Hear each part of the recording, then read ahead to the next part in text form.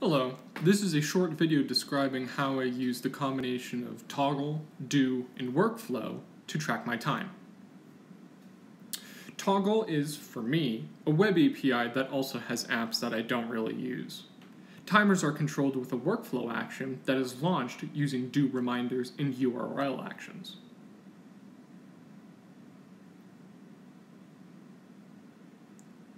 Here I show you how to download the workflow. I already have it, so I have to replace it.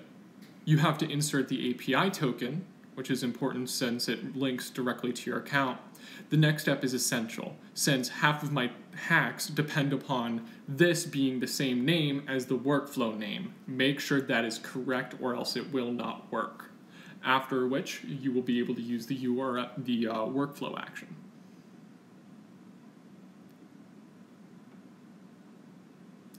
This is me launching the workflow action using Due. Opening Due, checking off the workflow action launches the workflow action, which prompts you to stops the timer, prompts you to select a project, and then gives a selection of descriptions that are dependent upon what has previously been selected and gives you the option to select to insert a new name for the description. After which it creates a Due timer and the process starts anew. This workflow is a heavily modified version of one published by one Federico Viticci of MacStories. His website is wonderful for tech news, and he also has two podcasts that I personally follow. Connected, which is a podcast about app, uh, tech news, but specifically Apple in general, and then Canvas, an iOS podcast that he has with Fraser Speirs.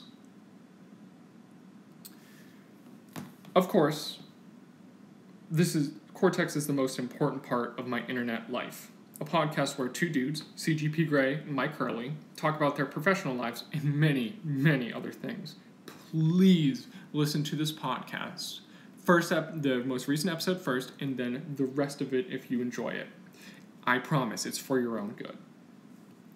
Of course, I've made this workflow available on the screen in a bit.ly link and in the description as a workflow sharing link. Also, in the description is a link to a Reddit thread where I will be available to answer any questions or complications that you have with this workflow. Thank you for watching.